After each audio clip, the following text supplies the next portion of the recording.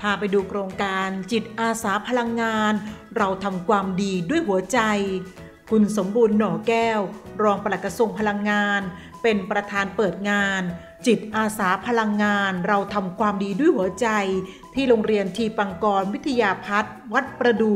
ในพระราชูปถัมภ์ซึ่งเป็นกิจกรรมเฉลิมพระเกียรติเนื่องในโอกาสมหามงคล พระราชพิธีบรมราชาพิเศษในชื่อ รงการส่งเสริมและสนับสนุนการเพิ่มประสิทธิภาพพลังงาน ในโรงเรียนทีปังกรวิทยาพัฒน์ในพระราชูปถัมภ์โดยกระทรวงพลังงาน ร่วมกับกลุ่มโรงเรียนทีปังกรวิทยาพัฒน์ในพระราชูปถัมภ์ทั้ง 6 แห่ง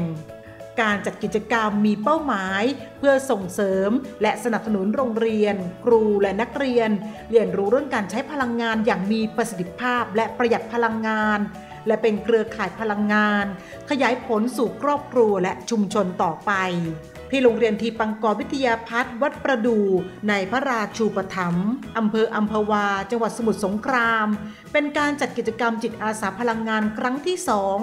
ซึ่งโรงเรียนแห่งนี้เป็นโรงเรียนระดับประถมศึกษา ตั้งแต่อนุบาลถึงประถมศึกษาปีที่ 6 มีนักเรียน 141 คน กิจกรรมที่กระทรวงพลังงานเข้าไปสนับสนุน จะเป็นการติดตั้งเปลี่ยนอุปกรณ์ไฟฟ้าที่อนุรักษ์พลังงาน และการใช้พลังงานทดแทน โดยสนับสนุนงบประมาณให้โรงเรียน ติดตั้งระบบผลิตไฟฟ้าจากเซลล์แสงอาทิตย์ ติดตั้งเครื่องปรับอากาศแบบอินเวอร์เตอร์การเปลี่ยนหลอดไฟ LED การติดตั้งระบบ IoT หรือ Internet of Things และการปลูกต้นไม้เพิ่มพื้นที่สีเขียวค่ะ ภายในงานมีกิจกรรมจิตอาสา เช่นกรมธุรกิจพลังงาน กับกิจกรรมการใช้ก๊าซหุงต้มปลอดภัย ซึ่งจะมีการปรับเปลี่ยนอุปกรณ์สำหรับก๊าซหุงต้มในร้านค้าที่โรงเรียน และชุมชนในโครงการ และกิจกรรมของการไฟฟ้าฝ่ายผลิตแห่งประเทศไทย กับการสำรวจตรวจสอบอุปกรณ์ไฟฟ้าภายในชุมชน และการนำร่องเปลี่ยนหลอดไฟ LED เพื่อให้เกิดการประหยัดพลังงานอย่างเป็นรูปธรรม โดยคาดว่าจะเกิดผลประหยัดไฟฟ้าให้กับโรงเรียนทีปังกรวิทยาพัฒน์วัดประดู ภายในภาพรวมไม่น้อยกว่า 30%เมื่อเปรียบเทียบกับปี 2561 ค่ะ